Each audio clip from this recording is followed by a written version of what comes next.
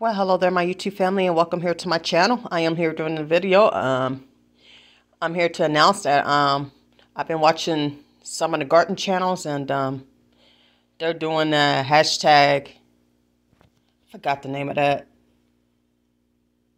Survival Seeds 2024. I will be sure to hashtag that. Um, I'm not sure who's hosting it. I think like three people are, but I will definitely try to hashtag that there so y'all can know who. Um, without further ado, let me show you the seeds that I'm that I got planted. There's a lot of stuff going on outside.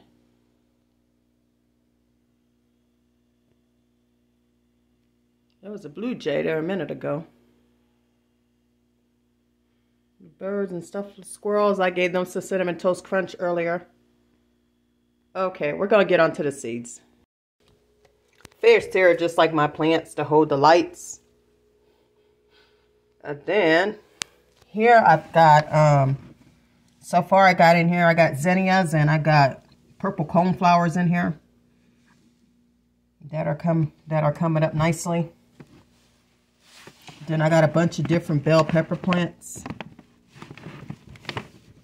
which I've been giving them all rainwater or or my aquarium water, which because my um, peppers I already got some of their first true leaves. I know it's probably kind of hard to see with the light, but they do. Yeah, let me go back. Yeah, you probably can see it now. they got their first true leaf. But then I got milkweed. I never really been successful at growing milkweed, but not giving up. All these are seeds that I planted. But I am about to get ready to plant more. Then I got the Got both of the parslings back there in the back. And then at the end is a cilantro, which is just now coming up. The one in the middle is the Japanese parsley. This is like the curly parsley, I believe. And those are coming up nicely. And I do got a few stuff outside, so I'm going to show y'all those real quick. I'm not sure what I got right there. Just some extra stuff. I think that right there is some type of kale forgot what I planted in this one, but they're all seedlings and these are our, um, gosh, Swiss chard.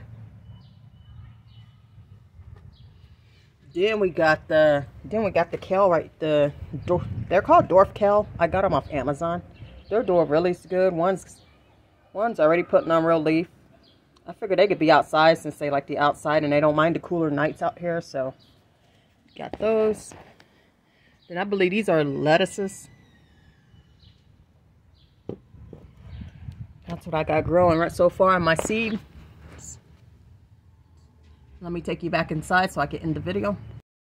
Okay, I'm going to go ahead and end the video here. Um, anyways, uh, if y'all like these type of videos, pets and plants, please be sure to give me the like. Subscribe to the YouTube channel if you are not already. And please hit the notification bell so you get every single video that come out. Until the next one, may y'all have yourselves a blessed day. And may y'all stay safe out there. May God bless each and every one of you. Bye.